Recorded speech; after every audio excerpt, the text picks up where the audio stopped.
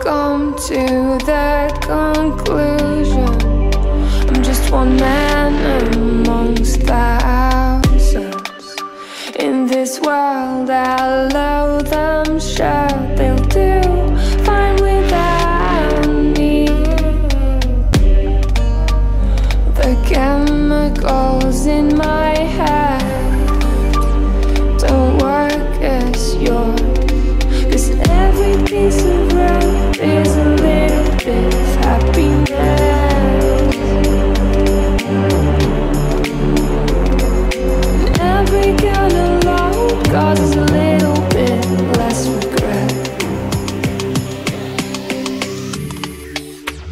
try